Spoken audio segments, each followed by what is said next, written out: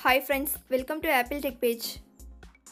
Today I am going to show you how to fix Safari cannot open the page because the address is invalid and Safari cannot open the page because it could not connect to the server error on your iPhone.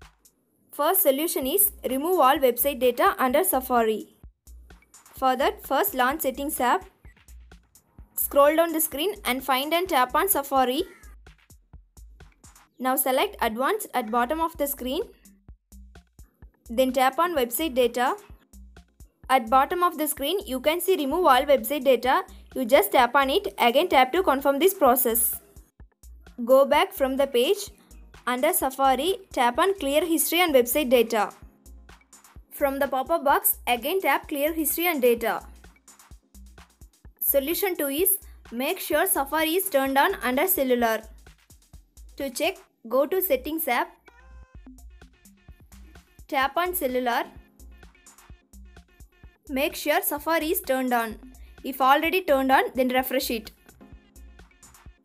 Third solution is Reset Network Settings. Launch Settings app.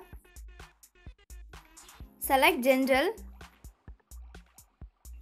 Scroll down the screen and tap on Reset. Now select Reset Network Settings. Enter the passcode and again tap Reset Network Settings to confirm this process. Solution 4 is use Wi-Fi instead of cellular data.